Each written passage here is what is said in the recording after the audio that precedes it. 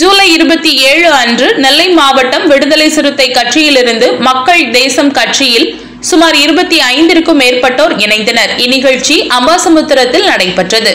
மேலும் மன்னார்கோவில் வாகைக்குளம் கௌதமபுரி ஆகிய பகுதிகளில் உள்ள இளைஞர்கள் சுமார் இருபத்தி ஐந்து பேர் கௌதமபுரியைச் சார்ந்த ஆதித்யன் என்பவர் தலைமையில் விடுதலை சிறுத்தைகள் கட்சியிலிருந்து விலகி மக்கள் தேசம் கட்சியில் இணைந்தனர். மக்கள் தேசம் கட்சியின் மாநில அமைப்பு செயலாளர் சுகுமார் தலைமையில் இந்நிகழ்ச்சி நடைபெற்றது.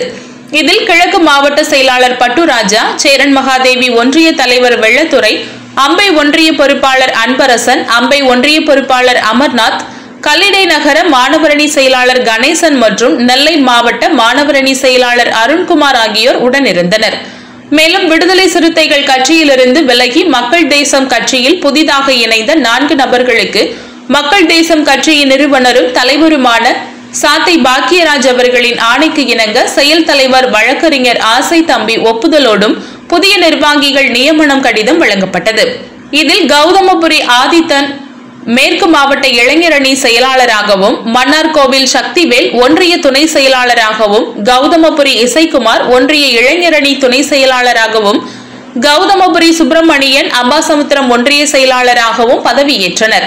இந்நிகழ்ச்சியில் விடுதலை சிறுத்தைகள் கட்சியிலிருந்து மக்கள் தேசம் கட்சியில் காட்டுமன்னார் கோவில் நவீன் ஒன்றிய இளைஞரணி துணை செயலாளராகவும் சுபாஷ் கௌதமபுரி ஆதிபாண்டியன் நெல்லை மேற்கு மாவட்ட இளைஞரணி செயலாளராகவும் சுப்பிரமணியன் அம்பை ஒன்றியம் பிச்சுமணி அம்பை பெரியகுளம் பகுதியிலிருந்து முருகன் அழகுராஜா மாசானம் சுபாஷ் மன்னார்கோவில் சக்திவேல் கனி தினேஷ் முருகன் செல்வம் குமார் இசையரசன் வாகைக்குளம் ராம்ஜி நகர் சபரிமுத்து ஆனந்த் கல்லிடைக்குறிச்சி காமராஜ் நகர் கருத்தபாண்டி மதிவாணன் மாவட்ட துணை செயலாளராகவும் ஏர்மாள்புரம் வினோத் பாண்டியன் மணிவண்ணன் சுபாஷ் கோட்டாரங்குளம் தினேஷ் முத்துராஜ் முடப்பாலம் ரஞ்சித் மது ஆகியோர் விடுதலை சிறுத்தைகள் கட்சியிலிருந்து விலகி மக்கள் தேசம் கட்சியில் தொடர்ந்து தன்னார்வத்துடன் செயல்படுவோம் என உறுதிமொழி எடுத்து தங்களை இணைத்துக் கொண்டனர்.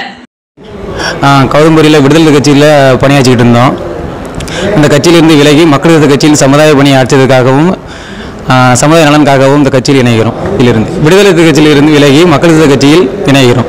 இன்றைய தினம் திருநெல்வேலி மாவட்டம் அம்பாசமுத்திரம் தாலுகாவில் அம்பை சுற்றுவட்டார பகுதியிலான பிரம்மதேசம் மன்னார்கோயில் வாகைக்குளம் மற்றும் அம்பை பகுதியைச் சார்ந்த இளைஞர்கள் விடுதலை சிறுத்தைகள் கட்சியிலிருந்து விலகி மக்கள் தேசம் கட்சியில் தம்பி ஆதித்யன் மற்றும் சகோதரர் சுப்பிரமணியன் தலைமையில் இன்று மக்கள் தேசத்தில் இணைந்து கொண்டனர்.